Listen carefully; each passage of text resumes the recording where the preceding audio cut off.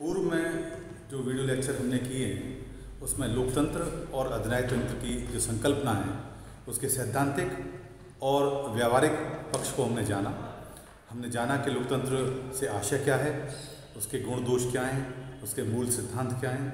उसके साथ ही हमने अधिनायक तंत्र से क्या आशय है और इस अधिनायक तंत्र के मूल विषय, मूल संकल्पना क्या है और इसके गुण दोष क्या हैं। आज इस वीडियो लेक्चर में हम ये जानने का प्रयास करेंगे कि अधिनायक तंत्र और लोकतंत्र में मूल रूप से अंतर क्या है। क्योंकि जब हम दोनों संकल्पनाओं का जब अध्ययन करते हैं तो हमें दोनों के पक्ष और विपक्ष, अच्छाइयाँ और बुराइयाँ, दोनों सामने आए। इसलिए आज हम ये जानने का प्रयास करेंगे निष्कर्ष तौर पर कि लोकतंत्र और अधिनायक तंत्र, इनमें मूल अंतर क्या है। अर्थात, कई बार कुछ आलोचक ये भी कहते हैं कि क्या अधिनायक तंत्र, लोकतंत्र का विकल्प हो सकता है? इन सभी विषयों को हम आज गहनता के साथ समझने का प्रयास करते हैं। आइए, पहले अधिनायक तंत्र और लोकतंत्र में मूल रूप से क्या अंतर है, उसको समझने का प्रयास करते हैं।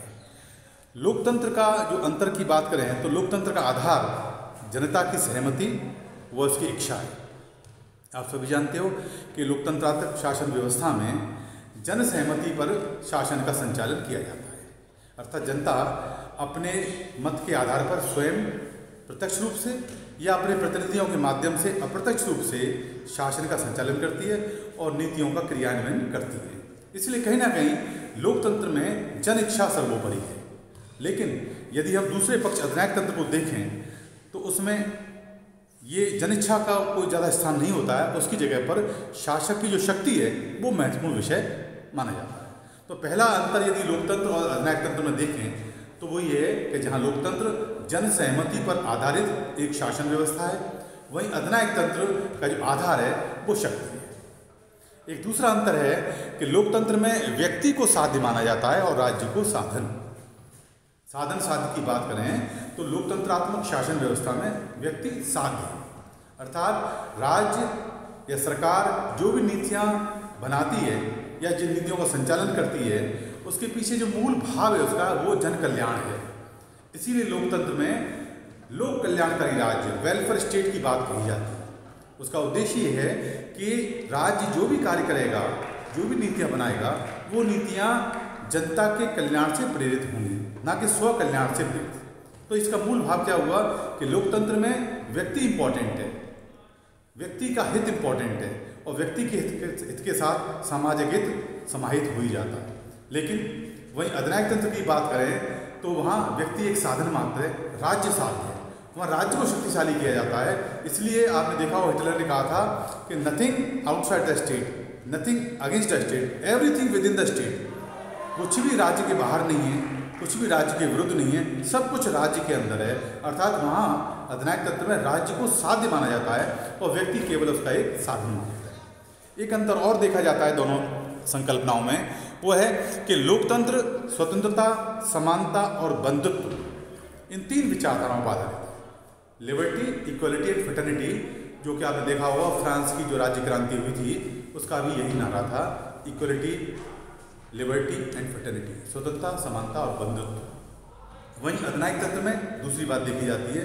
वहाँ अनुशासन आज्ञा पालन और दमन पर आधार, आधारित होती है। क्योंकि अधिनायक अपनी नीतियों को लागू करने के लिए, अपनी मनोइच्छाओं को लागू करने के लिए, अपने मनोवांछित फल प्राप्त करने के लिए वो उस राज्य के अंदर अनुशासन को महत्व देता है, आज्ञा पालन को महत्व देता है और जो लोग उसकी आज्ञा का पालन नहीं करते हैं तो दमन उसका मेन जो कार्य होता है दमन के द्वारा वो भय पैदा करके वो समाज में या राज्य में लोगों को अपनी आज्ञा का पालन करने के लिए उनको मजबूर करता है। लेकिन लोकतंत्र में ऐसा नहीं देखा गया है। वहाँ स्वतंत्र, स्वतंत्रता, समानता और बंधुत्व, ये महत्वपूर्ण विषय देखे गए हैं। एक चौथा अंतर देखा गया है, वो है कि लोकतंत्र में राजनीतिक दलों के अस्तित्व को स्वीकार किया जाता है और विरोधी दलों के अस्तित्व को भी स्वीकार किया जाता है। जबकि अधिनायक तंत्र में एक दल का शासन होता है और विरोध और विरोधी दलों के लिए कोई स्थान नहीं होता। क्योंकि आप जानते हो कि प्रजातंत्र की आत्मा राजनीतिक दलों में समाहित होती है। यदि प्रजातंत्र को या लोकतंत्र को वास्तविक रूप से यदि उसको प्राप्त करना है तो पॉलिटिकल पार्टी, राजनीतिक दल एक अहम अंग होता है। क्योंकि पॉलिटिकल पार्टी चाहे वो विरोध के रूप में हो, चाहे वो सत्ताधारी दल दल के रूप में हो, इसका मूल कार्य है जनता को अवेयर करना, जनता को जागरूक करना, राजनीतिक रूप से जागरूक करना। ये उसका मेन काम होता है। लेकिन इन सारी चीज़ों का अधिनायक तंत्र में कोई स्थान नहीं होता है। एक और अंतर देखा गया है कि लोकतंत्र में कानून का शासन होता है रूल ऑफ़ लॉ इसका मतलब आप जानते हो कि लोकतंत्र में किसी व्यक्ति विशेष का, किसी वर्ग विशेष का शासन ना होकर कानून का शासन होता है, अर्थात कानून की निगाह में सभी व्यक्ति समान होते हैं और सभी को कानून का समान संरक्षण होता है। Equality of law and equal protection of law लेकिन अधिनायक तंत्र में कानून का शासन नहीं होता। वहाँ एक व्यक्ति का शासन होता है, उसकी उसकी स्वेच्छाचारिता का शासन होता है, उसकी मनमानी इसलिए कहते हैं कि अधिनायक तंत्र में मनमानी पूर्वक शासन होता है, उसमें कानून की बात न होकर शासक की इच्छा ही सर्वोपरि मानी गई। एक अंतर ये भी देखा गया है कि लोकतंत्र में प्रचार के माध्यमों का प्रयोग इस तरह से किया जाता है कि जनता को सार्वजनिक विषयों पर समाचार मिलते रहें। उसका परिणाम ये होगा कि नागरिक विवेकपूर्ण निर्णय दे सके। स्वतंत्र प्रेस का लेकिन आप जानते हो कि अधिनायक तंत्र में इसका कोई स्थान नहीं होता। दूसरी तरफ़, आपने देखा होगा कि अधिनायक तंत्र में प्रचार माध्यमों का प्रयोग सत्तारूढ़ दल व उसके नेता के विचारों के लिए किया जाता है। आपने देखा कि लोकतंत्र में जो मीडिया है या फ्रीडम ऑफ़ एक्सप्रेशन की जो बात कही जाती है, अभिव्यक्ति की स्वतंत्रता की बात, ये महत्वपूर्ण विषय देखा गया। क्योंकि जनता को अपने विचारों को प्रकट करने की पूरी छूट होती है। उसके पीछे भाव ये है कि जनता जब अपने विचारों को प्रकट करती है, अपने विचारों के माध्यम से जब, समाचारों के माध्यम से जब विचार सामने आते हैं तो शासक दल को ये पता लगता है कि जनता की इच्छा क्या है, जनता का हित किसमें है और उसके अनुरूप वो कानून व्यवस्था और नियमों का निर्माण करती है। लेकिन अधिनायक तंत्र में ऐसा कुछ नहीं है। वहाँ मीडिया का एग्जिस्टेंस जो होता है, उसके पीछे मूल भाव यही है कि मीडिया केवल एक स्पोक्समैन के रूप में काम करता है।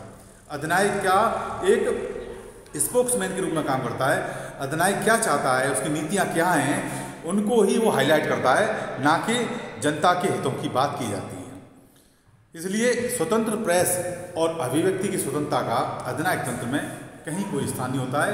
ये स्वतंत्र प्रेस और अभिव्यक्ति अभिव्यक्ति स्वतंत्रता अधिनायक तंत्र में बिल्कुल नहीं पाई जाती। ये जो कार्य हैं जो स्वतंत्र प्रेस है, वो अधिनायक तंत्र में केवल अधिनायक की नीतियों और उसके प्रचार के प्रयोग में लाने का कार्य किया जाता है। एक और अंतर देखा गया है कि लोकतंत्र में सरकार उत्तरदायी होती है रेस्पॉन्सिबल गवर्नमेंट जबकि अधिनायक तंत्र में सरकार उत्तरदायी नहीं होती अर्थात जो अकाउंटेबिलिटी की जो बात कही जाती है, जो उत्तरदायी शासन की बात कही जाती है, वो लोकतंत्र का एक आधारभूत लक्षण देखा गया है। उत्तरदायी शासन का मतलब ये है कि शासन या शासक अपनी नीतियों, अपने कार्यों के लिए जनता के प्रति उत्तरदायी है। अर्थात जिन उद्देश्यों के लिए जनता ने उनको निर्वाचित करके भेजा है, उन उद्देश्यों की पूर्ति वो कर रही है, वो शासन कर रहा है या नहीं कर रहा है, ये महत्वपूर्ण विषय है। यदि वो जनता के कल्याण के हित में कार्य नहीं कर रहा है तो निश्चित तौर पर उसके दूरगामी प्रभाव अगले चुनावों में उस पर पड़ सकते हैं। इसलिए अपने कार्यों के लिए अपनी नीतियों के लिए सरकार लोकतंत्र में जनता के प्रति पूरी तरह से उत्तरदायी होती है। और यदि वो इस कार्यों को करने में सफल नहीं होती है, वो सरकार अपदस्थ हो जाती है। आगे आने वाले चुनावों में तो सरकार को जनता मत नहीं देती है और दूसरे सरकार, दूसरे लोगों को, दूसरे प्रतिनिधियों को वो चुन करके और शासन में भेजती है। जबकि अधिनायक तंत्र में जो शासन व्यवस्था है, वो उत्तरदायी नहीं होती। अधिनायक स्वयं अपने लिए उत्तरदायी होता है, जनता के प्रति उसका कोई उत्तरदायित्व नहीं होता, क्योंकि अधिनायक तंत्र में अधिनायक की स्वयं की इच्छा वही सर्वोपरि होती, जैसा कि चर्चा मैंने अभी आपको पूर्व के लेक्चर में कही थी। एक चीज़ और देखा गया है कि लोकतांत्रिक सरकार लचीली व्यवस्था होती है। उसे परिस्थिति के अनुसार बदला जा सकता है, संशोधित किया जा सकता है। और इसीलिए देखा होगा कि तमाम जितने भी संविधान लोकतांत्रिक लोकतांत्रिक शासन व्यवस्था में हैं, उन अनेक समय समय पर संशोधन होते रहते हैं। संशोधन के जो प्रावधान लोकतंत्रात्मक शासन व्यवस्थाओं के संविधानों में जो दिए जाते हैं, उसके पीछे भाव ये है कि बदलते परिवेश के आधार पर शासन अपनी नीतियों को परिवर्तित करते रहे, जिससे कि जनता की जो समस्याएँ हैं, जनता के कल्याण की जो बातें हैं, उनकी पूर्ति की जा सके। इसलिए कहा गया है कि लोकतांत्रिक सरकार एक नमनीय या लचीली या फ्लेक्सिबल गवर्नमेंट होती है फ्लेक्सिबल सिस्टम होता है। वहीं अधिनायक तंत्र में ये बातें नहीं पाई अधिनायक तंत्र में जो शासन व्यवस्था है, वो अनमनीय कठोर होती है। अर्थात उसमें आसानी से परिवर्तन नहीं होते। उसमें शासक या तानाशाह की खुद की इच्छा से ही परिवर्तन किए जा सकते हैं। तानाशाही व्यवस्था में शासन को अवसर, शासन को अवसर के अनुकूल बनाने की कोई संस्थागत व्यवस्था नहीं होती है। तो इस आधार पर आप समझ पाए होंगे कि यदि हम लोकतंत्र की चर्चा करें और अधिनायक तंत्र की चर्चा करें तो लोकतंत्र में अनेक ऐसी अच्छाइयाँ पाई जाती हैं जो कहीं ना कहीं व्यक्ति, समाज, इसके हित को सामने रखे जाए सार्वजनिक हित, सार्वजनिक कल्याण उसका अहम विषय होता है और अधिनायक तंत्र में अधिनायक की स्वयं की निरंकुश या तानाशाह की स्वयं की जो इच्छाएँ वो सर्वोपरि होती हैं। जहाँ लोकतंत्र में रूल ऑफ़ लॉ विधि का शासन, कानून का शासन इंपॉर्टेंट होता है, किसी व्यक्ति विशेष की इच्छाएँ या उसका शासन इंपॉर्टेंट नहीं होता। वहाँ पर कानून के शासन से आशय, जैसे मैंने बताया आपको, कि कानून सबको समान दृष्टि से देखेगा इक्वलिटी ऑफ़ लॉ और इक्वल प्रोटेक्शन ऑफ़ लॉ और कानून सबका समान संरक्षण करेगा। किसी प्रकार का कोई भेदभाव नहीं होगा, लेकिन ये सारी बातें अधिनायक तंत्र में हमें नहीं पाई जाती। अब प्रश्न यह उठता है कि क्या अधिनायक तंत्र लोकतंत्र का विकल्प हो सकता है? क्योंकि हमने ये लोकतंत्र की अच्छाइयाँ आपको बता दी। उसकी, उसके दोष भी अपन ने पहले लेक्चर में अध्ययन किया था उनका। लेकिन दोषों की चर्चा करें और अधिनायक तंत्र के गुणों की चर्चा करें तो कई आलोचक ये प्रश्न उठाते हैं कि क्या अधिनायक तंत्र लोकतंत्र का विकल्प हो सकता है? Can dictatorship be an alternative of democracy तो लोकतंत्रीय व्यवस्था में आर्थिक, सामाजिक व राजनीतिक विकास धीमी गति से होता है, ये इस बात से हम सभी अवगत हैं। क्योंकि लोकतंत्र में जो भी नीतियाँ बनती हैं, वो जनता की सहमति होती है। जनता की सहमति के बाद उसमें विचार विमर्श होते हैं, विधानमंडल में उसका लंबे डिस्कशंस होते हैं, उसमें विरोध प्रत्यारोप आरोप, प्रत्यारोप और उसके तमाम प्रोसेस के, लंबे प्रोसेस के बाद वो फिर राज्य के प्रमुख के पास जाता है, उसके बाद हस्ताक्षर होते हैं, फिर वो कानून बनता है, फिर उसका एग्जीक्यूशन की प्रक्रिया, उसके क्रियान्वयन की प्रक्रिया बड़ी लंबी होती है। इसलिए कहा गया है कि लोकतंत्रीय व्यवस्था में आर्थिक, सामाजिक और राजनीतिक विकास की गति बहुत धीमी गति से होती है। जन कल्याण के कार्य तेज़ी से नहीं चल पाते, क्योंकि इस व्यवस्था में विकास और सामाजिक कल्याण का कार्यक्रम जन सहमति पर आधारित होता है। लोकतंत्र में ना राष्ट्रीय एकता होती है, ना ही अनुशासन होता है, लापरवाही होती है। रेड टेपिज्म होता है, लाल फीताशाही होती है हर व्यक्ति अपनी स्वतंत्रता की आड़ में मनमानी करने लगता है। सरकारें आए दिन बदलती रहती हैं और सरकारों की अस्थिरता के कारण नीति संबंधी भी अनिश्चितता बनी रहती है। लोकतंत्र में जनता के धन का अपव्यय भी होता है और प्रशासन में भ्रष्टाचार पनपता है। ऐसी स्थिति में ही कहा गया है, कुछ लोग, कुछ आलोचक ही कहने लगे कि क्या अधिनायक तंत्र को लोकतंत्र का विकल्प बना सकते हैं? किंतु ये सारी सतही कमियाँ हैं। अगर हम गहराई से मंथन करेंगे तो ये कमियाँ जन ताकि जनता यदि अवेयर ऑफ़ हो जाए, जनता यदि जागरूक हो जाए तो ये कमियाँ समाप्त हो हो जाती हैं। यदि व्यवहार में देखें तो अधिनायक तंत्र, लोकतंत्र का विकल्प कभी हो ही नहीं सकता। उसके पीछे कुछ तथ्य मैं आपसे चर्चा करना चाहूँगा। जैसे कि लोकतंत्र में व्यक्तिगत स्वतंत्रताएँ और मौलिक अधिकारों की व्यवस्था रहती है। जितने भी लोकतंत्र, लोकतांत्रिक शासन व्यवस्थाएँ हैं उनमें जो संविधान है, उन संविधान में पृथक से नागरिकों को, वहाँ के देशवासियों को मूल अधिकार, मौलिक स्वतंत्रताएँ, ये सारी प्रदान होती हैं। जो चीज़ें अधिनायक तंत्र में नहीं पाई जाती हैं, संविधान में इन अधिकारों की या स्वतंत्रता की उपलब्धता इस बात को सुनिश्चित करती है कि यदि शासन या शासक उन अधिकारों का उल्लंघन करता है अनैतिक रूप से, अवैधानिक रूप से तो व्यक्ति न्यायालय की शरण में जा सकता है। न्यायिक पुनरावलोकन के द्वारा भी शासन व्यवस्था को रोका जा सकता है ऐसे कार्यों करने से। और अंतिम रूप से जनता के अधिकारों की रक्षा गारंटीड हो जाती है। अधिनायक तंत्र में, वहीं दूसरी ओर अधिनायक तंत्र में ना तो व्यक्तिगत स्वतंत्रता की व्यवस्था रहती है, ना ही समानता के सिद्धांत का अनुसरण होता है। दूसरी ओर, लोकतंत्र में सरकार जन इच्छा के अनुरूप चलती है, जबकि अधिनायक तंत्र में स्वेच्छाचारी शासन होता है। लोकतंत्र में विकास व सामाजिक कल्याण का कार्यक्रम जन सहमति पर आधारित होता है और जन सहमति के ठोस आधार पर टिका होने के कारण लोकतांत्रिक विकास सही दिशा में होता है, जबकि तानाशाही में कई बार विकास के मार्गों का निर्धारण सही दिशा में नहीं हो पाता। अधिनायक तंत्र में राष्ट्रीय एकता और अनुशासन ऊपर से आरोपित रहता है। जबकि लोकतंत्र में आत्म अनुशासन की व्यवस्था रहती है। लोकतंत्र के नियमों में, यदि हम देखें, लोकतंत्र में नियमों के अनुसार शासन होता है रूल ऑफ़ लॉ होता है, जब अधिनायक तंत्र में कार्य दक्षता और पहल करने की शक्ति का दमन होता है, लोकतांत्रिक सरकार हर परिस्थिति के अनुसार ढाली या बदली जा सकती है, संशोधन की व्यवस्थाएँ होती हैं, जबकि विषम परिस्थितियों में तानाशाही व्यवस्थाएँ लड़खड़ा जाती हैं। लोकतांत्रिक व्यवस्था में ही जनता को सामाजिक, आर्थिक न्याय उपलब्ध हो सकता है।